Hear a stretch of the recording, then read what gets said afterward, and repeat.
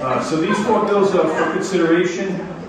Um, The first bill is 5006, sponsored by Whip Kazarian, It's an act related to state and governmental uh, government. It's healthcare for children and pregnant women, equity and abortion coverage. Provides for abortion coverage in the Medicaid program and repeals the abortion coverage exclusion for state employee insurance plans. Do I I move passage. Second. Been moved and seconded.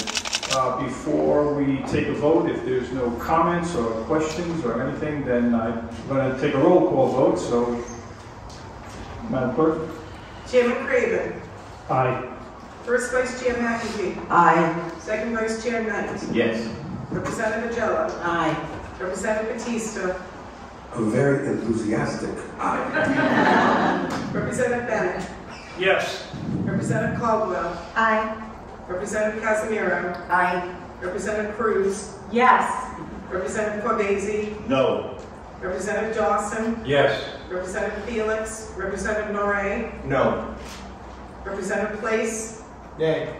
Representative Roberts. No. The ayes have it, Chair.